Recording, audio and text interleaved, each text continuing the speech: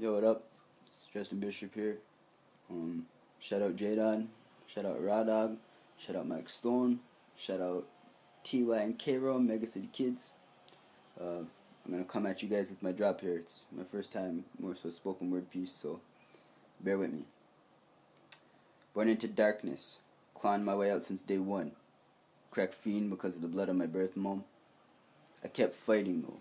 I'm born with the spirit of a warrior but warriors get tired, worn out defending the boy in us.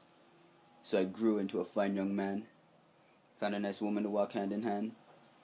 But then life hit, trying to divide us apart, leaving deep cuts. My brother, you think your wounds are scars? But I stayed strong, kept all my demons at bay.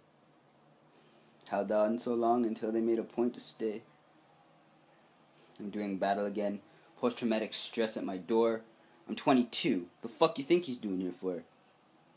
Fought so hard I pushed my support away, left in the wake, still with my biggest demon to slay.